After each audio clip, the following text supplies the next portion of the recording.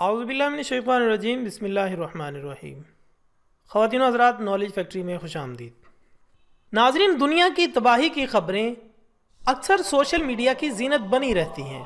ان بے بنیاد خبروں میں آج کل ایک اور اضافہ ہو گیا ہے۔ اس پیش گوئی کے مطابق ہماری دنیا کی زندگی محض دو ہفتے باقی رہ گئی ہے۔ اور اس سے قبل بارہ دسمبر دو ہزار بارہ اور پھر تیئیس سپٹمبر دو ہزار سترہ سے متعلق اس قسم کی جھوٹی پیش گوئیاں سننے کو ملی تھیں ویڈیو شروع کرنے سے پہلے میں اپنے نئے آنے والے ساتھیوں سے گزارش کرتا ہوں کہ چینل کو سبسکرائب کر کے بیل آئیکن کو دبا دیں تاکہ نئی آنے والی ویڈیوز آپ تک پہنچتی رہیں۔ اور آپ سب سے گزارش ہے کہ ویڈیو پوری دیکھنے کے بعد اپنی قیمتی رائے کومنٹس میں ضرور دیں۔ خواتین و حضرات، انسان شاید اس دنیا کی وہ سب سے متجسس مخلوق ہے جو ہر وقت نہ صرف اپنے ماحول بلکہ اس وسیع کائنات کی ہر شے کو کھوجنے اور اس کی حقیقت کو جاننے کی جستجو میں لگا رہتا ہے۔ اور انہی سوالوں میں سے ایک سوال قیامت کے بارے میں ہے، جس کا حقیقی علم صرف اللہ تعالیٰ کی ذات کو ہے۔ نئی سامنے آنے والی تھیوری کے مطابق، نیبرو نامی سیارہ جو پلانٹ ایکس کے نام سے بھی جانا جاتا ہے، انیس نومبر کو زمین کے انتہائی قریب سے گزرے گا۔ اور اس کی کشش سقل کے باعث زمین پر تباہ کن زلزلے اور دیگر قدرتی آفات آئیں گی۔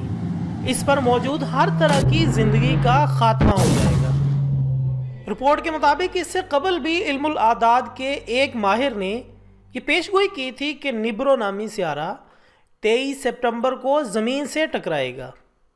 اس کے ٹکرانے سے زمین پر قیامت برپا ہوگی، تاہم یہ پیشگوئی غلط ثابت ہوئی۔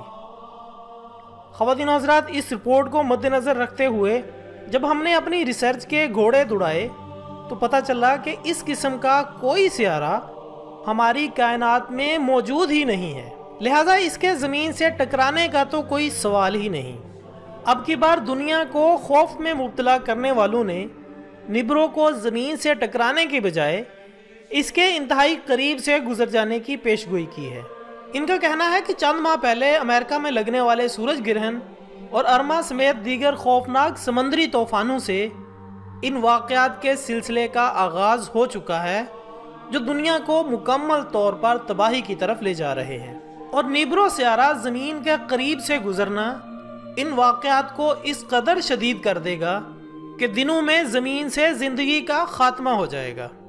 خواتین حضرات ناسا نے بھی میدان میں اتر کر ان خبروں کو محض قیاس آرائیاں اور جھوٹا قرار دے دیا ہے۔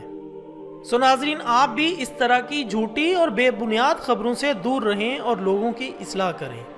قیامت سے متعلق صحیح علم اللہ تعالیٰ کی ذات کو ہے۔ تاہم، اس کے ساتھ ساتھ یہ بات بھی ایک حقیقت ہے کہ جب کوئی انسان مرتا ہے، تو اس کے لیے اسی وقت قیامت آ چکی ہوتی ہے۔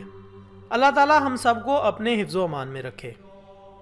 خواتین حضرات، اس کے ساتھ ہی آج کی ویڈیو کا اختتام ہوتا ہے۔ ایک نئی ویڈیو کے ساتھ دوبارہ حاضر ہوں گے، تب تک کے لیے اجازت دیجیے گا۔ اپنا دوستوں رشتہ داروں اور گردنوا کے تمام لوگوں کا بہت خیال رکھیے گا۔ اللہ حافظ۔